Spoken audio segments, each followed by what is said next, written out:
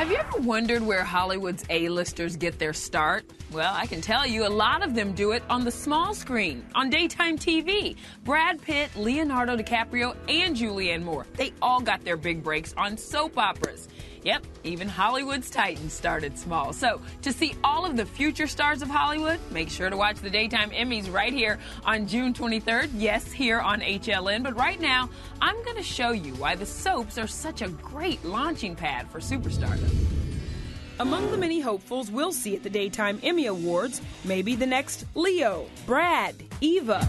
Each of those superstars and many more got their starts on soap operas. It was a great training ground and less about acting than about professionalism. 30 Rock star Alec Baldwin recently shared with me the fond memories he has of the job that launched him to stardom the doctors. I'm going to blow your entire future sky high with Luke.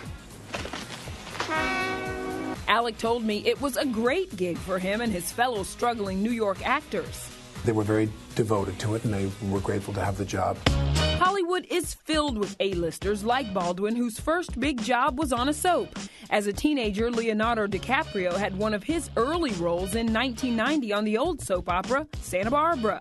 Brad Pitt also did his soap opera time, appearing on Another World when he was a fresh faced 20 something in 1987. I wonder if Angie makes fun of him for that. Before Oscar winner Tommy Lee Jones was policing aliens on Men in Black, he spent the early 70s on the ABC soap One Life to Live.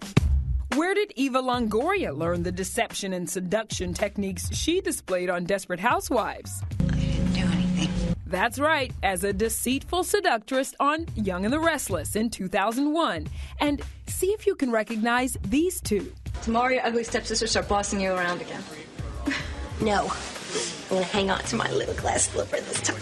Yes, they're Oscar winner Marisa Tomei and four time Oscar nominee Julianne Moore appearing together on As the World Turns. Julianne Moore won a Daytime Emmy for her work on the show in 1988.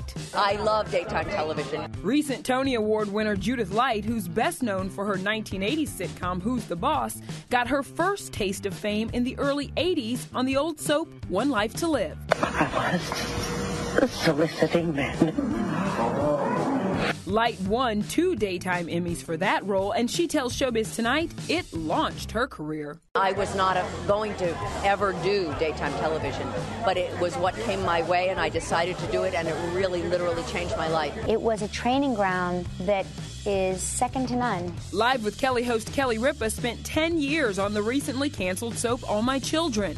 Kelly tells Showbiz Tonight doing time on a soap could do a lot of young actors a lot of good. When you hear about like young Hollywood and, you know, if they're not showing up on time or whatever, I always say make them work on a soap. So soaps are more than great entertainment. They can lead to daytime Emmy Awards and Hollywood superstardom.